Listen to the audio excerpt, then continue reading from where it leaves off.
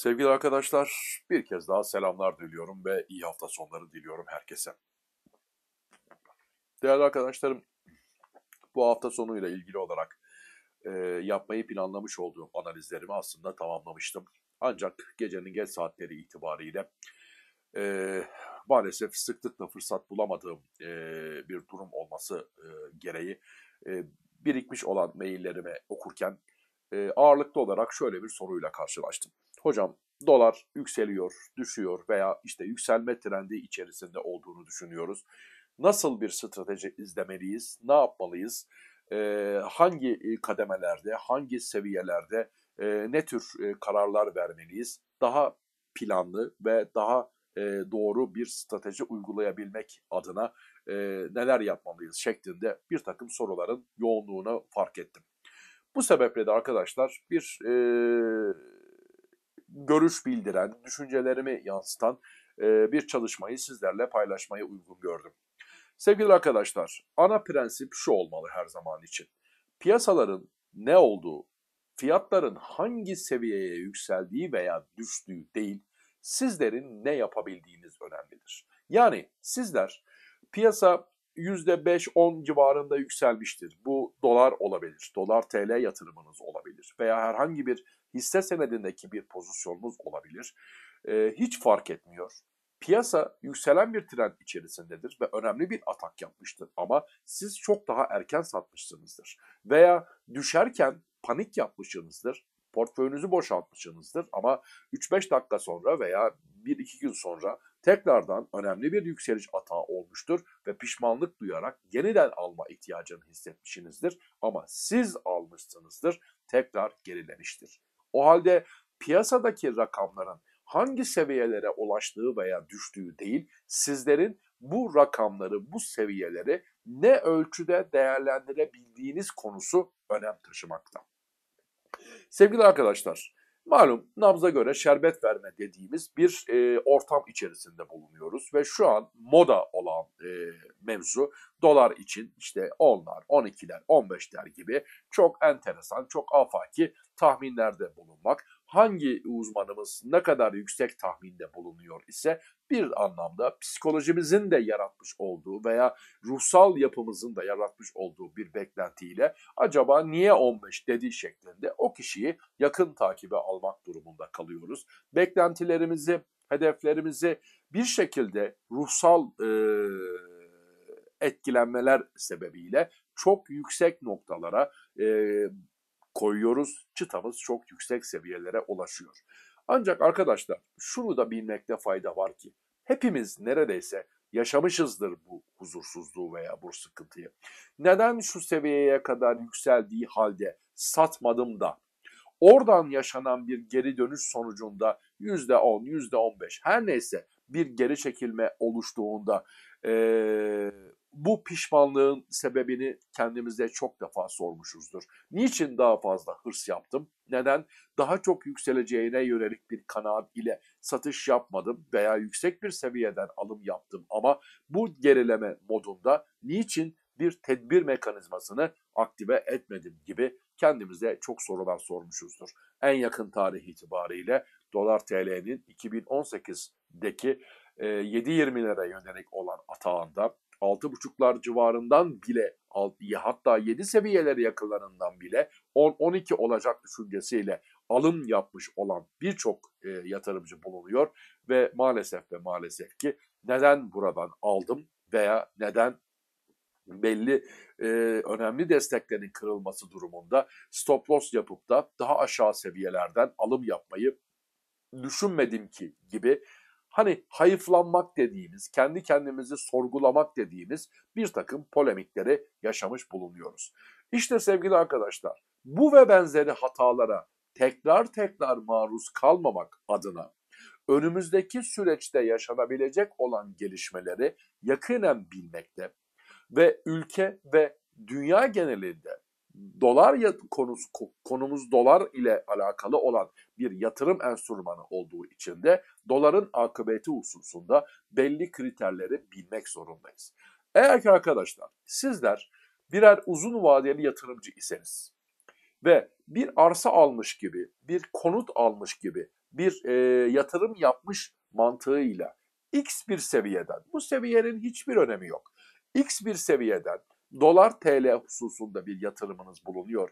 Elinizde bulunan TL'nizi dolara çevirmiş iseniz bu durumda yapmanız gereken tek bir şey var. Siz kısa vade için anlık, saatlik, dakikalık bir şekilde dolar indi mi, çıktı mı, yükseldi mi gibi e, sorular ile uğraşmamalısınız diye düşünüyorum. Zira siz dediğim gibi bir arsa aldığınız zaman, bir gayrimenkule yatırım yaptığınız zaman her an ve her saniye acaba aldığım ev veya aldığım arsanın fiyatı ne oldu ki diye bir sorgulama içerisinde olmazsınız. Çünkü niçin? Bir arsanın veya bir gayrimenkulün fiyatı saat başı değişmeyecektir veya gün birkaç gün içerisinde herhangi bir değişime maruz kalmayacaktır.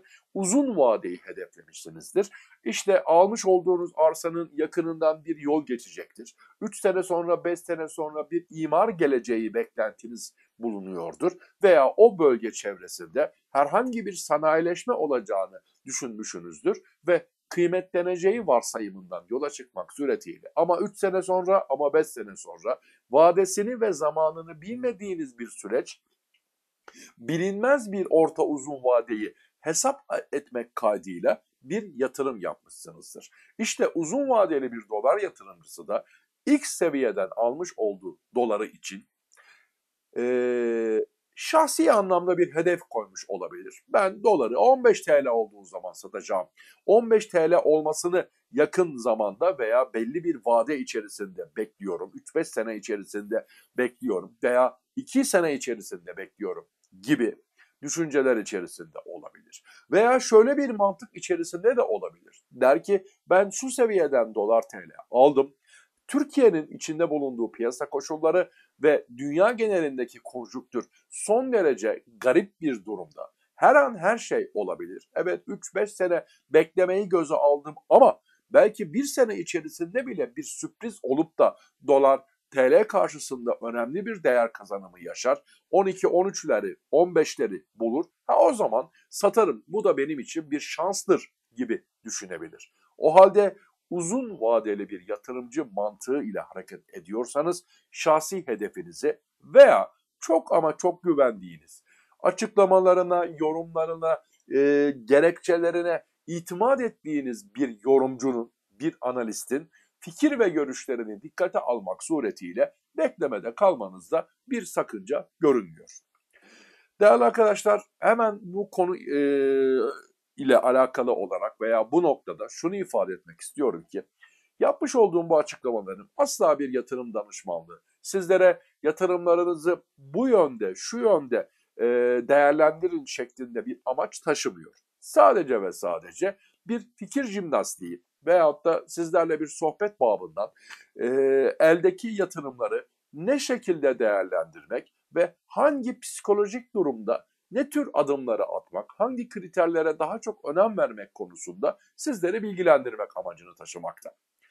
Evet değerli arkadaşlar, şayet orta vadeli bir yatırımcı iseniz, yani orta vadeden kastımız birkaç aylık süreci dikkate alan bir yatırımcı iseniz, 2-3 aylık bir süreci dikkate alan bir yatırımcı modeline sahip iseniz, böyle bir durumda ise öncelikle haftalık ve aylık pivot detaylarını çok yakından izlemenizde yarar görmekteyim. Değerli dostlar, haftalık ve aylık pivot detayları içinde bulunduğumuz haftayı veya içinde bulunduğumuz ayı dikkate almak suretiyle belirli destek ve direnç noktalarını hedeflemekte. O ay veya o hafta içerisinde oluşabilecek olan e, yukarı veya aşağı eğilimli fiyat hareketlerinde sizlerin özellikle takip etmeniz gereken ve önemsemeniz gereken seviyeleri dikkate alıyor.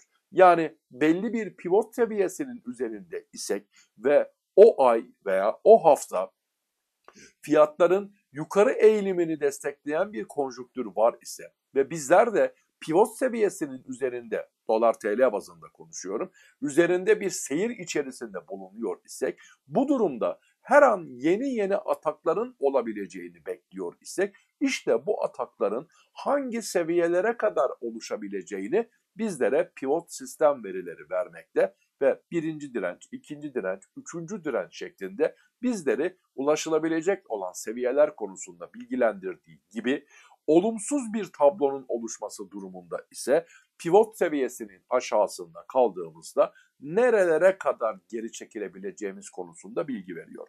Sizler eğer o geri çekilmeler ardından yeni yükselişler olabileceğini bekliyorsanız o kritik destek noktalarında belki de ek alımlar yapmak suretiyle maliyet düşürebilir veya kırılmış olan pivot desteğinin e, desteğini dikkate almak suretiyle e, pozisyondan çıkarak e, tepki gelmesini beklemiş olduğunuz bir noktadan ekstra pozisyon almayı düşünebilirsiniz. Veya arkadaşlar temel faktörler itibariyle ülkemiz açısından konuya baktığımız zaman bugün seçim konusuna odaklanmış durumdayız. Seçim sonuçlarına ilgili olarak ne olacak ne bitecek mevzusunu takip ediyoruz. Evet belki önümüzdeki hafta içerisinde e, YSK'nın vereceği bir karar ile bu mevzu da neticelenmiş olacak. Birkaç gün bu konuyla ilgili yukarı veya aşağı eğilimde bir dalgalanma yaşayacağız. Ama bu konuda 3-5 gün sonra unutulacaktır.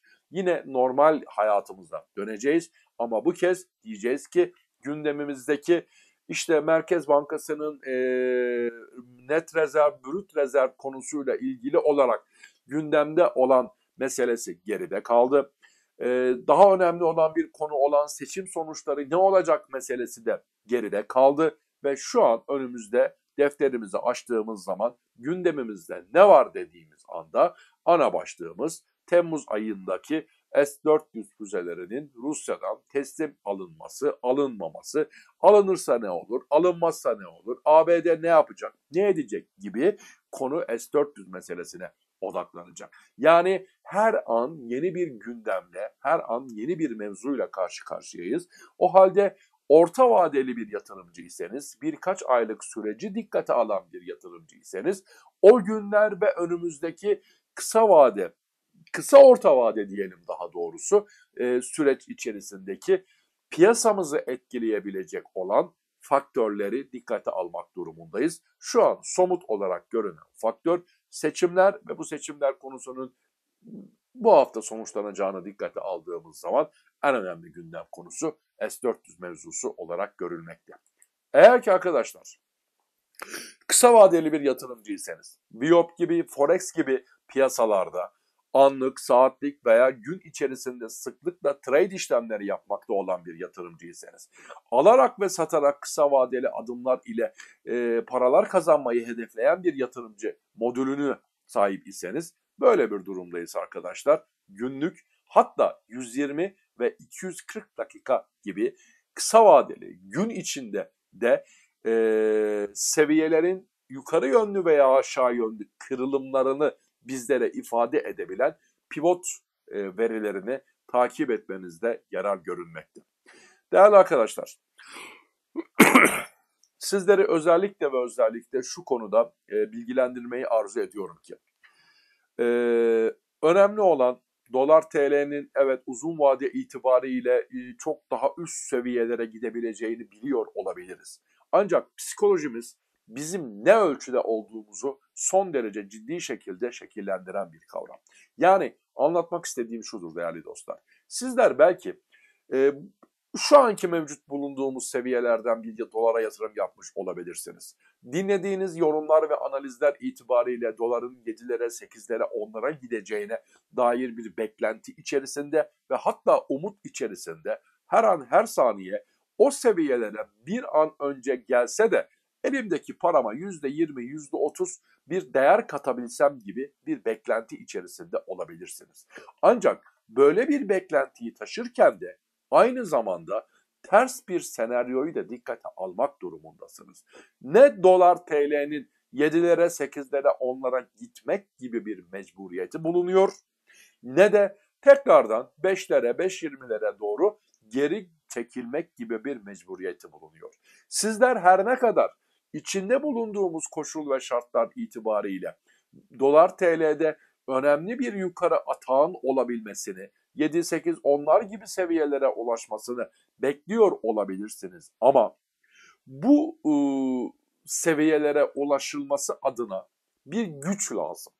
Bu güç özellikle ve özellikle yabancı yatırımcıların bu konuda alacağı kararlar ve atacağı adımlar ile alakalıdır. Yabancı yatırımcının bu seviyelerden mi gaza basacağını yoksa bir miktar geri çekilme yarattıktan sonra şu veya bu bahaneyi kullanmak suretiyle yaşatabileceği bir e, gevşeme eğilimi sonrasında mı gaza basarak bu yukarı eğilimi başlatabileceğini hiçbir şekilde bilmiyoruz. O halde siz bugün dolara yatırım yapıyor iseniz eğer Ahmet'in Mehmet'in söylediği üzere patladı, fırladı, uçtu, kaçtı gibi yorumların etkisi altında kalıp da 3 gün sonra 7, 8, 10 olacak gibi bir beklentiye dayanarak belki elinizde 2 aylık bir süre için kullanabilme opsiyonuna sahip olduğunuz bir rakamı bu e, manada e, kısa vadede bir vole vururum düşüncesiyle hareket ediyorsanız önemli yanılgılara ve hatta zararlara maruz kalabilirsiniz. Arkadaşlar yatırım konusunda pişmanlıklar insanın canını acıtabilir. Bakınız size yaşamış olduğum somut bir örneği ifade etmeye çalışayım. Gerçekten de bu örnek sonrasında belki de o arkadaşımızı kınayacaksınız. Ama kınamayın. Sadece konuya psikolojik anlamda bakınız. Çok kıymetli bir arkadaşım, çok kıymetli bir ağabeyim. 2017'nin sonlarına doğru Ekim ayları civarıydı. Bir gayrimenkulünü sattığından ve elinde 1.8 milyon TL civarında bir nakdinin olduğundan bahsetmişti. Bir sohbet ortamında, bir yemek ortamında.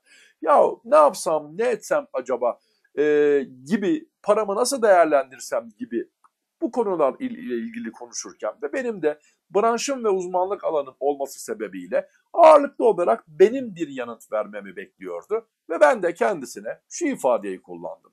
Önümüzdeki süreç itibariyle bakınız arkadaşlar bu sohbetin geçtiği tarih 2017 yılının Ekim ayı.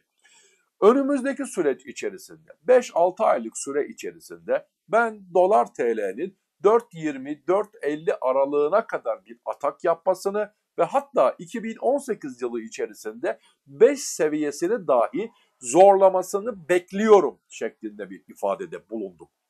Kendisi de beni dinledi ama evet sen doğru söylüyorsun kardeşim deyip de ben elimdeki parayı yarın gidip dolar alacağım dememişti. Aradan belli bir zaman geçtikten sonra beni arayıp da ya şu tarihte oturduk muhabbet ederken hani böyle böyle bir konuşma olmuştu. Ben seni dinlemek üzere senin söylediklerini makul bulmak kaydıyla 3.68-69 civarlarından bütün paramı dolara bağladım demiş idi. Ve arkadaşlar 2017'nin sonları itibariyle dolar TL'nin bir 4 atağı yaptığına tanık olduk. 2018 geldi 4.20'ler 4.50'ler görüldü. 4.5'lar 5'lere doğru bir atak yaşandı. Ve Ağustos ayındaki tabloyu biliyorsunuz 7.20'ler seviyesine kadar ulaşıldı. Bu değerli ağabeyim bana e, bu Ağustos ayında 2018 Ağustos ayındaki 7 atağının yaşanması sürecinin hemen yakın bir e, zaman sonrasında son derece sinirli bir şekilde aramak kaydıyla yahu be kardeşim dolar 7'leri buldu 7.5'ları buldu beni niye arayıp da sat daha yükselmez demedin diye uyarmadığım için beni suçladı. Şimdi sevgili arkadaşlar 3 ay 70'ler seviyesinden dolar almış olan bir yatırımcı bir sene civarındaki bir süre içerisinde ki ben dediğim gibi 5'ler civarını ancak e, tahmin edebiliyordum. E, böylesine korkunç bir atağın olmasını hiçbir şekilde beklemiyordum. Velev ki bu arkadaşımız elindeki rakamı tutmuş ve ben niçin kendisini 7-7,5'lar seviyesinde uyarmadım diye beni azarlayan veya beni e, eleştiren bir yaklaşım içerisinde e, kaldım. Şimdi sevgili arkadaşlar bu yaşamış olduğum somut ve gerçek olayı sizlerle niçin paylaştım? Hırs mevzusu arkadaşlar. Ee, bizim içimizde aldığımız herhangi bir nesnenin olabildiğince en tepe noktalardan satmak ve en maksimum, en optimum karı elde etmek arzusu vardır. Veya alacağımız herhangi bir şeyi olabildiğince en dip noktadan alabilmek arzusu vardır. Bunu başarmak imkansız bir şeydir. Bu nedenle değerli dostlarım, bu nedenle değerli arkadaşlarım, bu önümüzdeki hafta içerisinde Şayet seçimlerin iptali gibi bir sonuç ortaya çıkar ve dolar TL 6 direncini aşacak olur ise 6.20'lere doğru bir atak yapma olasılığını sizlere bir kısa bir süre önce aktarmış olduğum analizimdeki teknik kriterler itibariyle belirttim. Bu noktada eğer ki dolar TL elinizde bulunuyor ise belirli bir miktarda kademeli bir yatırımcı mantığıyla kademeli adımlar atan, kademeli olarak alım yapan ve kademeli olarak satım yapan bir yatırımcının daha doğru kararlar verebileceği bilinciyle bir miktar realize içerisinde olmak ve bir geri çekilme tekrardan 6 seviyelerinde ve hatta ve hatta 5.86 aralığında bir dengelenme süreci içerisine girebileceğimizi, özellikle elinde 6.5'lar ve 7'ler bölgesinde dolar TL bulundurmakta olan birçok yatırımcının bu yaşanmış olan veya yaşanma ihtimali mevcut olan yükselişi bir fırsat olarak kollamak kaydıyla nakde geçebileceği ihtimalini de dikkate almak üzere 6.20 6.40 aralığında veya 6.20'ye yaklaşımlar. Olası 6.20 üzerine yönelik ataklar olsa bile bu ataklara tereddütle bakmak suretiyle hiç olmazsa belli bir miktarda realize yapmak, nakde geçmek ve olası bir geri çekilme durumunu dikkate almak suretiyle satılan veya bozulan pozisyonları tekrar yerine koymayı hedeflemekte yarar olduğu kanaatindeyim.